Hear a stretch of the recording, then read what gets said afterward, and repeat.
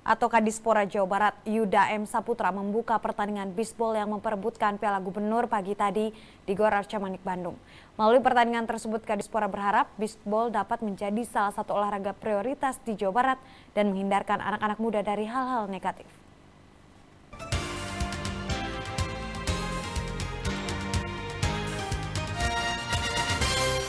Dinas Pemuda Olahraga Provinsi Jawa Barat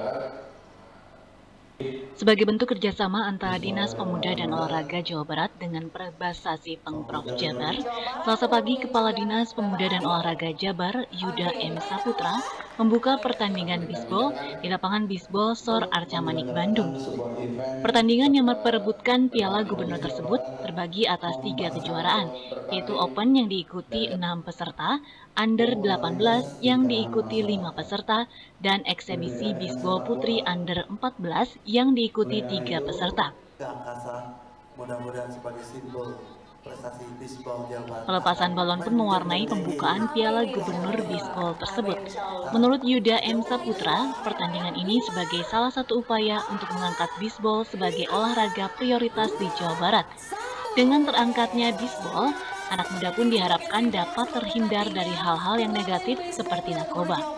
Maka pemerintah Provinsi Jawa Barat melalui Piala Gubernur ini mencoba untuk untuk mengangkat bahwa bisbol harus menjadi cabang olahraga yang bisa menjadi prioritas di Jawa Barat. Sebab kenapa? Ini bagi pelaksananya kan banyak anak muda.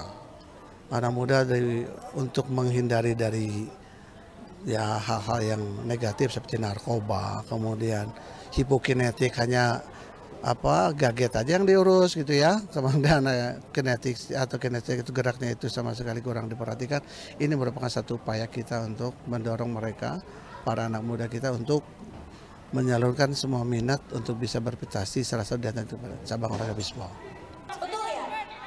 Pada pertandingan kali ini diadakan eksebisi untuk remaja putri usia 12 hingga 14 tahun karena selama ini di Indonesia belum ada pertandingan bisbol untuk umur di bawah 14 tahun, padahal di luar negeri sudah ada.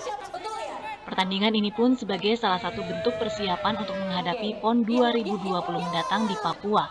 Peserta dari provinsi lain seperti Bali dan Banten pun diundang untuk mengikuti pertandingan ini untuk menguji kemampuan atlet bisbol Jawa Barat. Budi Hartati, Bandung TV.